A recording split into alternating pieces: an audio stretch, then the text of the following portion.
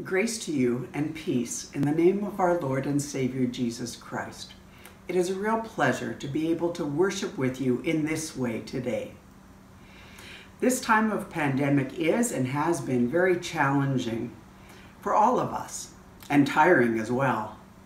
Your bishops wanted to make sure that our rostered leaders could take their vacations for much needed rest.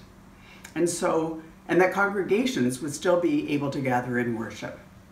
That is why we and the synodical assistants to the bishop are providing these sermons for use today through the middle of September.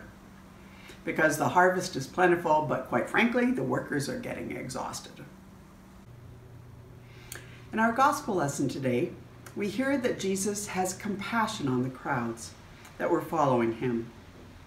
I hope that during this time of pandemic, you have felt that Jesus is close to you and having great compassion for you and for all of God's children who are struggling with the pandemic, but others also with racism and police brutality, with homelessness, with hunger, with war and displacement, with loneliness and isolation, and so many other troubles. Jesus continues to come to us to each and every one of us and speaks to us a message of hope, of love, of grace, and of peace. But that is not all that Jesus says to us. Jesus is still calling us, each and every one of us, to go out into the harvest to proclaim the good news in word and in deed. And please hear me now Jesus is not just calling pastors. No. This is a call to each and every one of us who wants to be followers of Jesus. I know that some of you may already be coming uncomfortable and perhaps some of you are cringing now. And it gets worse Jesus warns us before we go that it is not going to be easy. In fact, it may be very hard. However, let's remember that the realities of first century Palestine, living under Roman occupation and oppression, and our 21st century Canadian context are very different. Granted that there are worries and dangers now as provinces are opening up, we will still need to take COVID-19 very seriously as we head out into the harvest. So today, Jesus might not warn us about the possibilities of flogging or being dragged in front of governors and kings. Jesus might instead warn us to wear masks and to wash our hands frequently and to keep two meters apart and to gather in groups of 25 people indoors and 50 outdoors as long as there is safe physical distancing, or at least that's what Jesus might say to us here in Manitoba. Our current reality is that we have learned during the pandemic time that there are people hungry, hungry for hearing the good news. I heard stories across our church of inactive members returning to participate in online worship, of total strangers, perhaps seekers, joining in worship, of more people joining in online worship than had been present when we were gathering together live.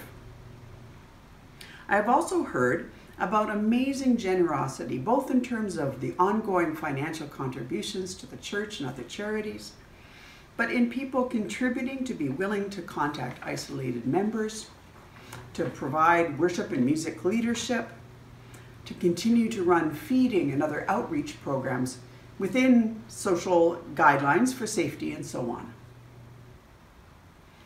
We have proved in this crisis that we can be creative and responsive to God's call. We are reaching out and sharing God's news in ways that we have never imagined and with effects that we have never experienced before.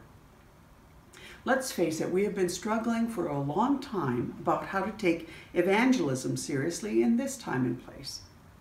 And I remember, I remind you that evangelism, sharing the good news, is part of discipleship to which we all are called, each and every one of us. My mom and I have been reading Life Together by Dietrich Bonhoeffer. We are trying a COVID 19 book club via FaceTime. In his chapter on ministry, Bonhoeffer talks about evangelism as the ministry of proclaiming, one of the ministries that we are all called to take part in. For those of you who haven't read his book or who haven't read it for a long time, the other ministries Bonhoeffer calls us to are holding one's tongue, meekness, listening, helpfulness, bearing, as in bearing one another's burdens, and authority. Bonhoeffer acknowledges our difficulty with evangelism. He writes, Added to the fear of one's responsibility to speak there is the fear of the other person.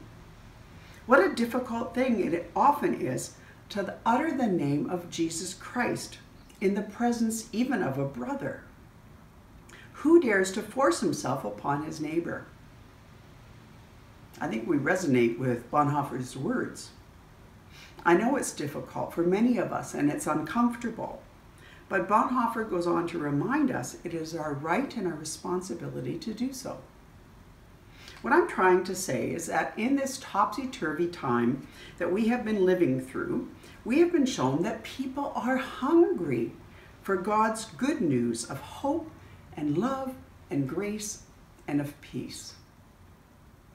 People are yearning to know that Jesus has compassion on them, for them in their lives.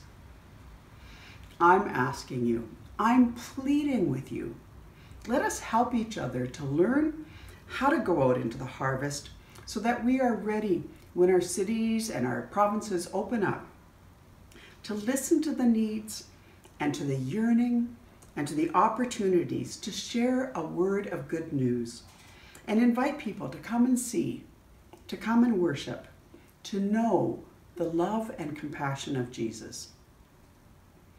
God bless and strengthen each one of you as we all continue to deepen our discipleship. Amen.